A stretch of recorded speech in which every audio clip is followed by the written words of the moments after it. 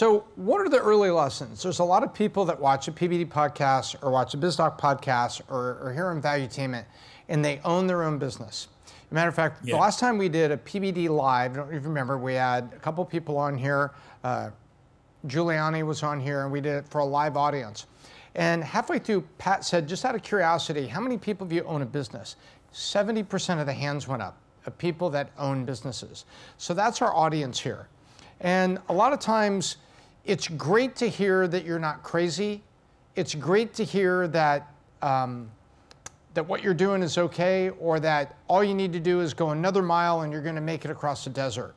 You know, what were some lessons you learned early on, maybe from mistakes you made? I've made mistakes in business that have almost cost me everything, by the way. Um, and then I've made decisions that were phenomenal, and the leverage off of the decision was incredible. Yeah. What were some, if you were speaking to somebody that's about three to five years into their entrepreneurial journey, they built something, they got it up, it's going, and they're really trying to get it to really go to be that permanent lifestyle business. Thinking back to those days, what were some lessons you learned or tips that you got from other people that were so incredibly helpful that you look back and you say, wow, that was a real leverage point there? Well, I, I tell you one one real quick story. When I was building the first Wingstop, uh, along with a guy that was the first general manager who went on to become a multimillionaire as a franchisee, he was helping me build it. And we went into a Home Depot. Home Depot had just opened back then. I had my tape measure, and I must have looked more like a construction guy than a restaurant guy, but we had no money and we did everything ourselves. And the guy was waiting on me. He said, What are you fellas building? And we said, Well, we're building this little restaurant uh, down the street there in Garland. Oh, he said, What kind of restaurant is it? I said, Well, you're going to sell chicken, to sell chicken wings.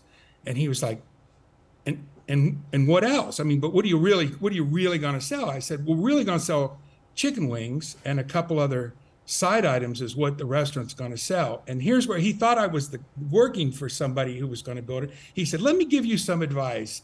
He said, as soon as you're done with that job, you be sure and get all your money from that man because they're damn sure nobody can make a living selling nothing but chicken wings. I thought that was so funny uh, because uh, here's the lesson people, you got to be careful who you listen to when you own your own business because people are quick to offer up their opinions about what you should do, what you're doing wrong. But these are the people that have never signed the front of a paycheck in their life and probably never will. They don't know the gravity of being self employed, they don't know the gravity of the responsibility that comes with employing others.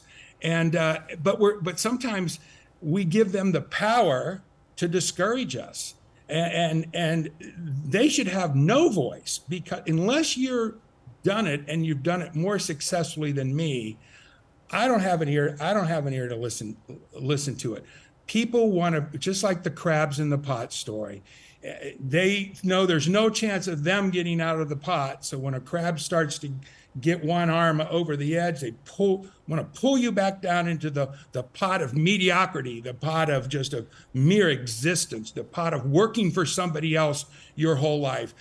And and those people will steal your dream if you let them. And the secret is do not let them. That is incredibly powerful. And what you just said um, let me tell you, we're going to clip that out of here and we're going to tweet that because what you just said is just a powerful piece of advice in that little little package there.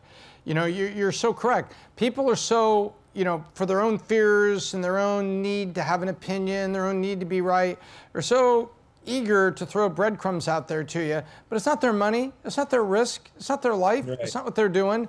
And by the way, they're they're working over here for someone else. So and maybe they have to. Maybe they have a kid. Maybe they, they don't have any choice and they haven't got any capital to risk. Okay, well then do your thing. Do your thing. But yeah, but never... wish me well. You know, wish me well and, and, and mean it instead of really kind of under your breath wishing that I'll be back down in the pot with you in a minute. The second lesson that I've learned, and I found this true in life in general, uh, and this is what I would tell somebody that's early on in their business career most people quit too soon. And that's true of relationships as well as it is in business. Most people give up too soon before they've had an opportunity to use what they're learning. And it's kind of like uh, putting the nutrients back into the soil. You grow your first crop and it was a so so crop, but you can plow it under and now you can fertilize your soil for your next crop to be even better. If you constantly quit and try different things and jump around, you don't get to, you know, you never get to grow a crop in your enriched soil. And that's why I've noticed people quit too soon. And, and if it's something that you think you can learn from your mistakes, correct, and fall down forward, man, you got to do it. But I see people give up all the time on on a lot of things, and uh, and that would be one of the probably the second thing that I would say is uh, don't quit too soon. You know, you, you never know how close you are to almost cracking it uh, if you quit. You just you'll never know.